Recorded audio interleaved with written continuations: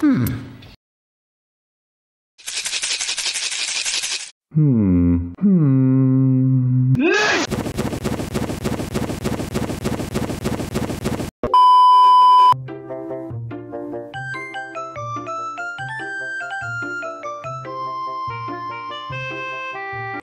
Bên kia tôi thấy một con gấu mà cái chùm lông mọc của nó nhìn nó hơi nó hơi sida.